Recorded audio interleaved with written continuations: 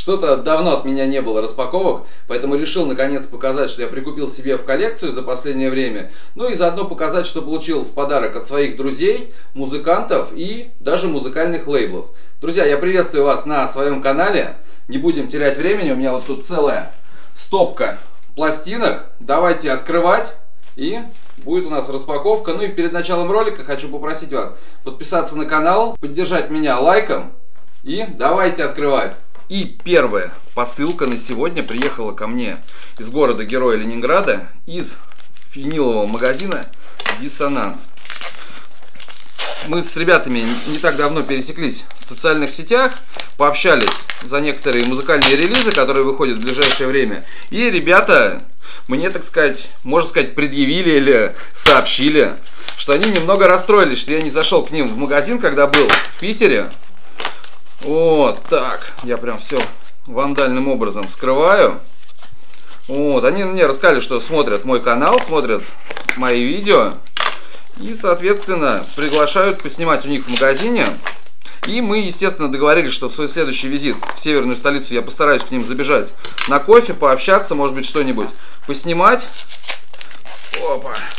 И в преддверии новогодних праздников решили порадовать еще и вас. Сделав мой фирменный промокод в магазине Диссонанс. Сейчас открою, у меня что-то тут не очень получается, все слишком круто запаковано. Или я такой криворукий.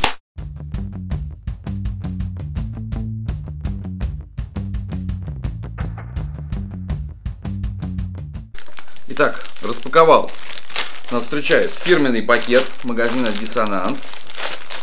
И тут дальше еще в картоне у нас оказываются пластинки чтобы вообще ничего не повредить. Кстати, давно такого не видел. Шикарная упаковка. Опять я буду рвать картон. Та-дам! Достаем. Упаковка просто бомбическая. О, тут еще даже... Опа!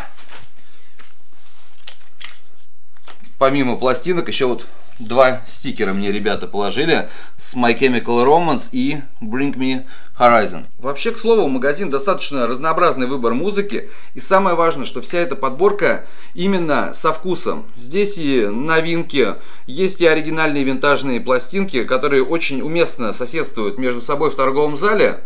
Поэтому владельцы магазина мне показались безумными фанатами музыки, с которыми у нас много точек соприкосновения. Как мне рассказали владельцы Диссонанса, что их магазин расположен на одной из старейших площадей Ленинграда, и в сам магазин ведет лестница мраморная, 868 года, по-моему, дом этот постройки. Поэтому, если будете в Питере, обязательно заглядывайте к ним в магазин. Ну и пользуйтесь моим промокодом кстати, забыл сказать, что у ребят есть, естественно, доставка по России, и от 4000 рублей она бесплатная. Поэтому, если вот, например, заказать две пластинки, то они абсолютно бесплатно к вам приедут. Как мы увидели уже, очень классная упаковка. Давайте еще сейчас Смит вскроем, посмотрим, как там все внутри. Я, как обычно, все вандально открываю. Это культовейший альбом Морриси. The Queen is Dead. Ух ты, такой Gatefold красивый нас ждет. И пластинка внутри. Все новенькое, запечатанное. Вот такие пластинки приехали ко мне из магазина Диссонанс. Пользуйтесь промокодом Слава Милк и получайте скидку в 15% на заказы онлайн в магазине Диссонанс. Ну а я в свой ближайший визит в Ленинград обязательно зайду к ребятам, пообщаемся и может быть даже более подробно расскажу вам про этот магазин. Ну и сам посмотрю на уникальную лестницу из мрамора 1868 года. Обалдеть! Вот это круто, когда музыкальный магазин расположен в таких местах. Так что давайте сейчас посмотрим чуть-чуть поподробнее. Значит, это у нас In Excess, одна из моих любимых групп. Ребята из Австралии, Майкл Хатчинсон и их альбом Full Moon Dirty Hearts, который вышел в ноябре 1993 года. Это девятый студийный альбом команды. И по сути это их предпоследняя работа После нее был еще вот один альбом, как раз очень символично, он у меня расположен сзади меня. Здесь уже In Excess потеряли свою основную фан-базу, потому что они поменяли звучание, добавили немного гранжа, и это не понравилось основной массе их поклонников. Но мне этот альбом лично очень нравится. Что примечательно, кстати, в одной композиции подпевает Майклу Хатчинсону один из величайших музыкантов в мире, Рэй Чарльз, и еще девушка, я забыл, как ее зовут, из группы Pretenders тоже в другой песне помогает Майклу Хатчинсону. Также хочу на, не знаю, вспомнить, да, что во время тура к этому альбому у ребят были большие сложности, они сделали не тур не по большим стадионам, к которым привыкли такие команды уровня NXS или YouTube, а ездили по совсем маленьким клубам, в которых приходило буквально по 200-300 человек что послужило на самом деле, уже тогда прослеживалась вот эта вот суицидальная депрессия Майкла Хатчинсона, поэтому очень клевый альбом, если вы его не слышали, то я вам его рекомендую. У меня не оригинальное издание, это переиздание 2013 года, и найти его сейчас действительно сложно, а больше пока он не переиздавался, так что я его нашел в диссонансе, за что им большое спасибо. И следующей пластинкой, которой тоже еще раз хочу обмолвиться, это Морриси. The Smiths, Кузнецы и The Queen is Dead. Это вообще, в принципе, один из самых популярных альбомов, который был выпущен в Британии. К тому моменту Смитс уже сформировались как команда и действительно делали клевый, уникальный звук, который чуть-чуть ушел в сторону от новой волны, немножко дал зарождение брит-попу. И в целом даже, ну, нечего рассказывать об этом альбоме. Кстати говоря, нет. Скажу, что все-таки, кто не знает, на фото изображен не Морриси. Это фотография блистательного Аллена Делона, который снимался, да, в картине «Непокоренный». Это, по-моему, 64 -го года у нас фильм. Если кто не видел, тоже посмотрите. Ален Делон красавчик, не меньше, чем Морриси. Ну и вот еще вот такая красивая фотка. Вот он. Морриси. Мар. Шикарный, просто шикарный альбом. У меня до этого не было Смит в коллекции. Также очень рад и уже хочу быстрее его послушать. Давайте двигаться дальше. И остальные пластинки у нас, правда, будут уже распечатаны чуть ранее мной, но зато я их послушал и смогу что-то сказать и о их звуке, что тоже может быть кому-то важно при выборе или покупке винила. Продолжаем. И дальше у нас идут подарки от друзей. Уже, может быть, кто-то видел в Инстаграм. Это пластинка Юра Миджа, которую мне подарил Олег из магазина Dirty Beats. И по совместительству герой позапрошлой, наверное, уже для вас серии по домам. Шикарная пластинка. Для меня это открытие э, уходящего года.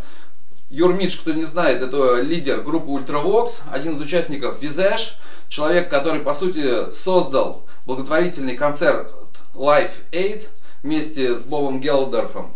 Поэтому клевая пластинка. Всем, кто не слушал, рекомендую. Могли уже видеть у меня ее в Инстаграм. Но, Олег, тебе спасибо большое. Кайф. И сразу же покажу еще один подарок. Тоже от героя моего шоу по домам от Валерия, Экей Валерон.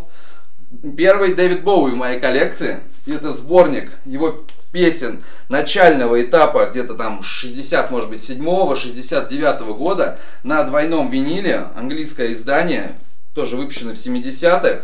Ну, здесь, конечно, играет немного другой Боуи, которого мы которого я не слышал, не знаю насчет вас. Это тот Боуи, который грустно в каком-нибудь углу паба пел свои песенки под гитару.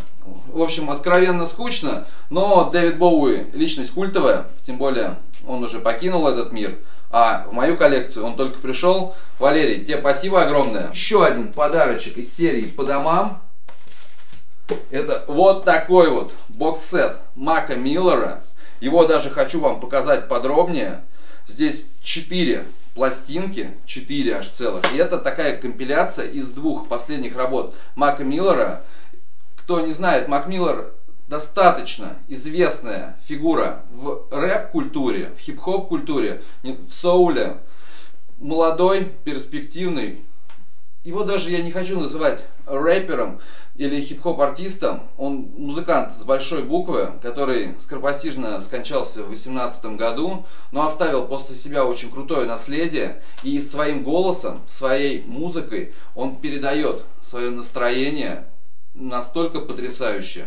Это клевый бокс-сет, шикарное оформление. Сейчас мы его посмотрим уже чуточку ближе. Давайте посмотрим поподробнее на содержимое бокс-сета. Специальные прорези, как на дискете, чтобы было видно название. такая вот стопка. Здесь у нас тоже, соответственно, прорези. Надо правильно вставить вкладки.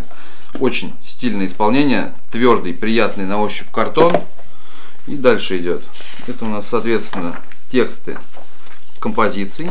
И напомню, что здесь у нас идет компиляция двух альбомов, как собрала его уже после его смерти его мать и сестра. Это альбом Swimming и альбом Circles. Один вышел как раз в 2018 году, а другой вышел уже посмертно в 2020. Вот такой вот большой черно-белый постер, который может быть даже... Опа, я бы хотел бы где-нибудь повесить. Извиняюсь, у меня упала коробка. Вот такой вот красивый-красивый постер.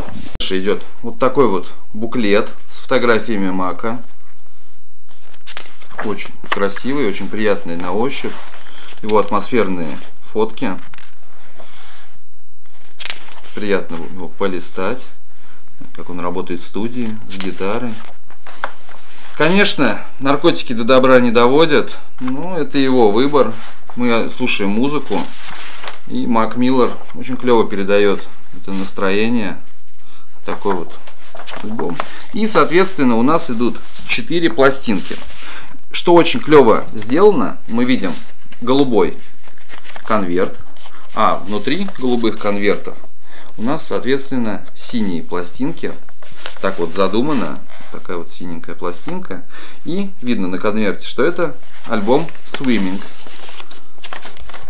И, соответственно, идут синие конверты, это Circle.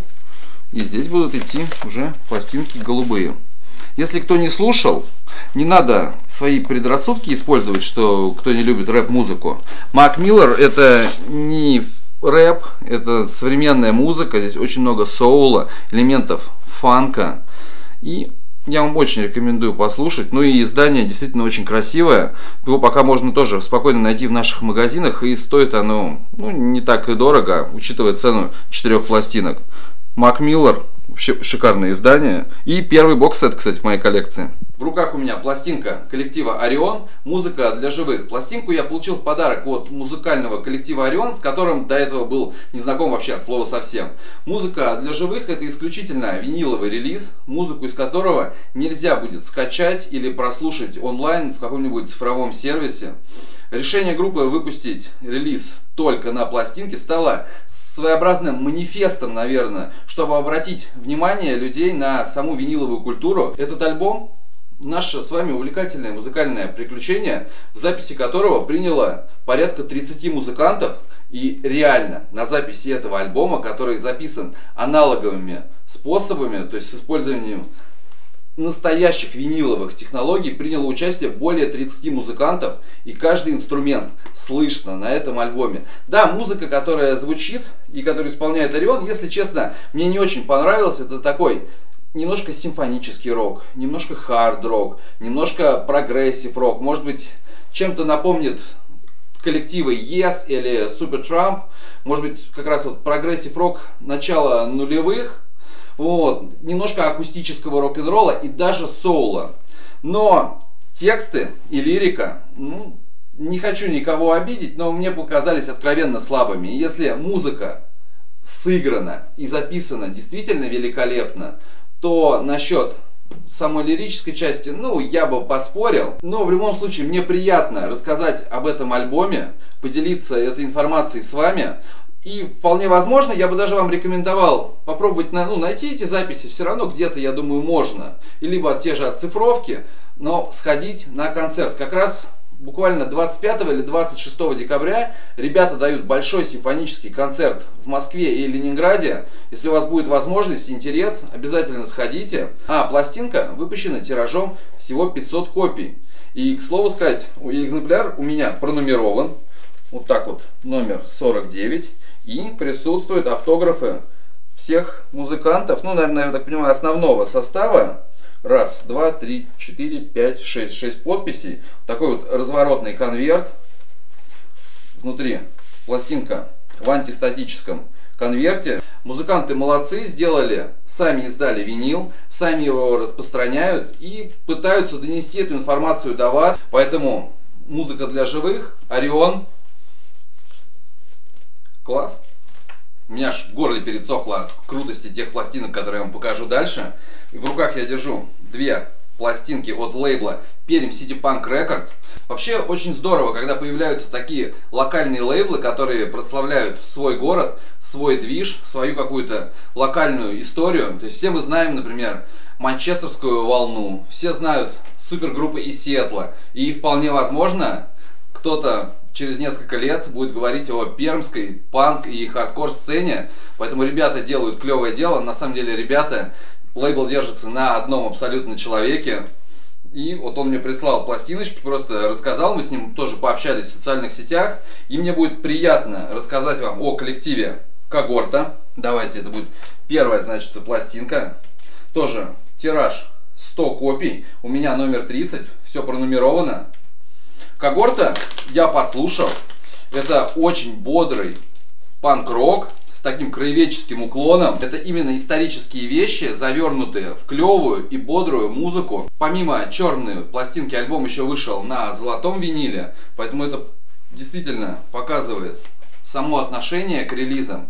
И как ни странно, я не особый любитель панк-рока, но именно этот альбом я послушал и дома впервые на пластинке, и даже включал себе в машине. Поэтому очень советую вам послушать Когорту. Это клевая, действительно клевая музыка. Очень жаль, что они не играют на нашем радио, остаются прям совсем в андеграунде. Но в Москве вот буквально, по-моему, несколько недель назад в клубе Punk Fiction проходил их концерт. Я действительно очень хотел пойти, но, как обычно, не хватило времени. Я сейчас покажу издание чуть-чуть подробнее.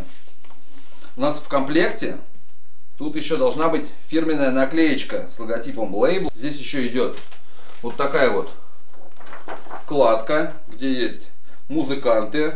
Георгий вокал, гитара, Виталий бас, бэк вокал и барабанщик Виталий. Все здесь ссылки на коллектив, благодарности всей команде. И сзади тексты песен. Очень люблю, когда пластинки хоть комплектуются чем-то, а здесь у нас наклейки, вкладка. Насколько я знаю, ребята причем печатают винил не на ультре в Москве, а печатают его в Эстонии. И по качеству самого, самой, самого винила хорошая толстая масса, никаких щелчков и даже для панк-рока играет отлично. Поэтому такой подход к делу всегда приветствуется. Рекомендую вам послушать когорту. Можно даже в цифровых сервисах это сделать. Perm City Punk Records занимается и таким продвижением. И вторая пластинка это семерка коллектива Frozen Kids. Она была издана, можно сказать, уже, чтобы увековечить коллектив, который зародил пермскую хардкор-сцену и, по сути, уже не существует очень-очень много лет. Но как раз участник коллектива Frozen Kids играет в когорте, поэтому пермская сцена не такая большая, и музыканты помогают друг другу, играют музыку, но здесь прям хардкор-хардкор. Первая, кстати, семерка в моей коллекции. До того, как я познакомился с лейблом Перм City Punk Records, ну, я максимум знал такое выражение, как Пермяк, соленые уши. Ну и то, что сериал «Реальные пацаны» снимали в Перми, а оказывается в городе процветает культура и выпускаются местные коллективы, поэтому Ребята, если у вас небольшой город и вы любите музыку, окружайте свою сцену заботой и вниманием и сохраните этот культурный пласт. Это очень клево. И жду когорту на нашем радио. Думаю, что они однозначно не хуже, например, такого коллектива, как Казус Кома.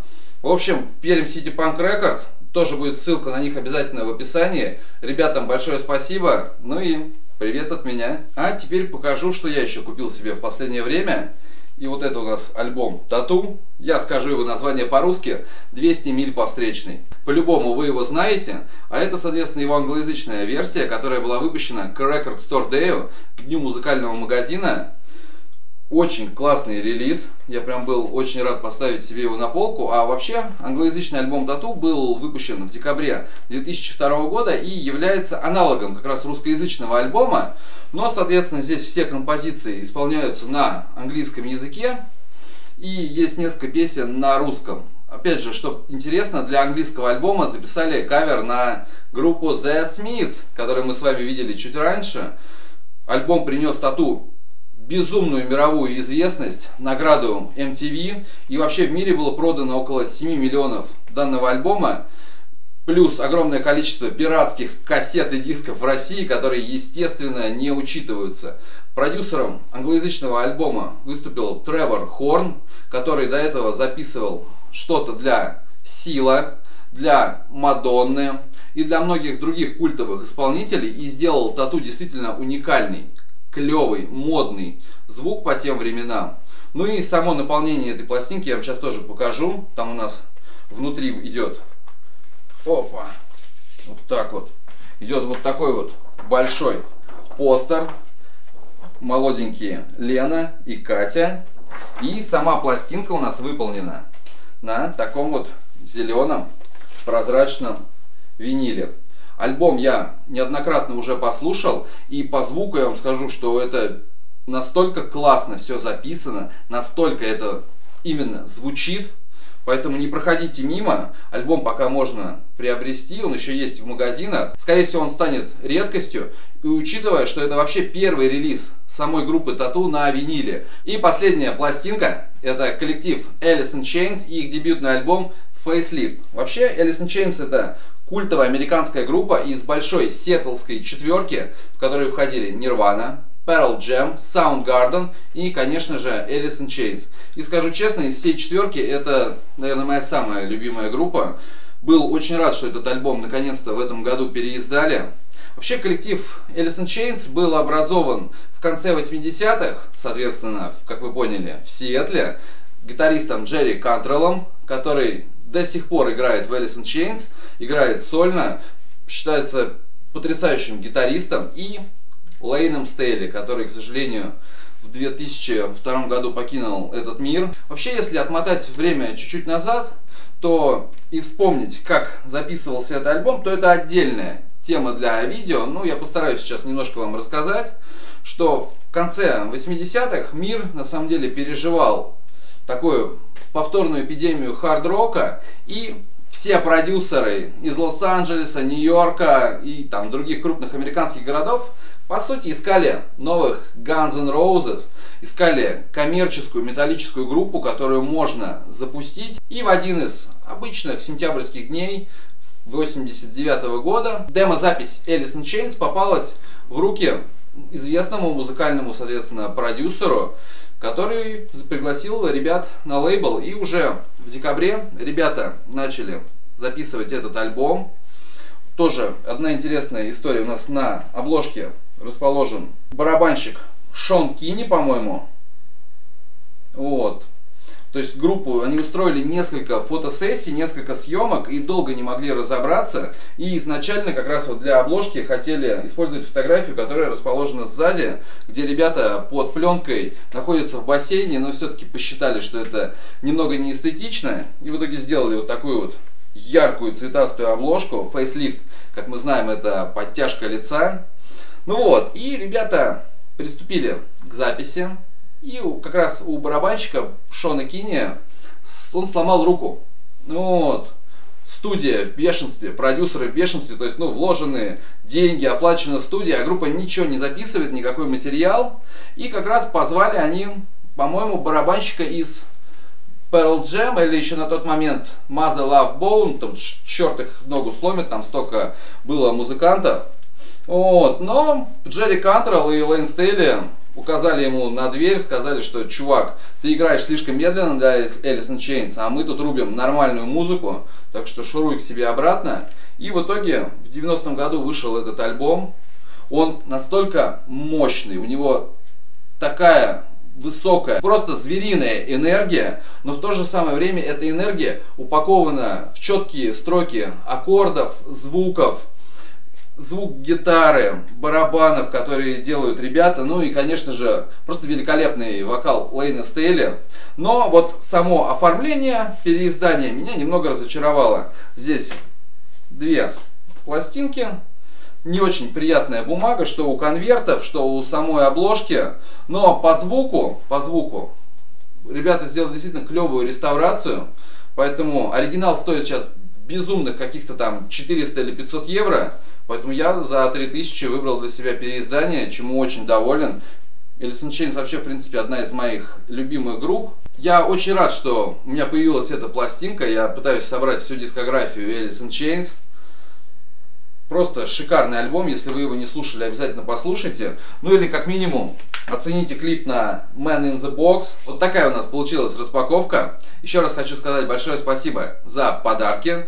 Очень ценю, очень признателен. И, ребят, напишите в комментариях, какие из этих альбомов или пластинок вы слушали раньше сами, какое у вас может быть мнение, либо что было интересно, и вы послушаете сами в ближайшее время. Ну а я на этом с вами прощаюсь. Прошу подписаться на канал, лайк, колокольчик и все-все-все прочее. До новых встреч и пока-пока.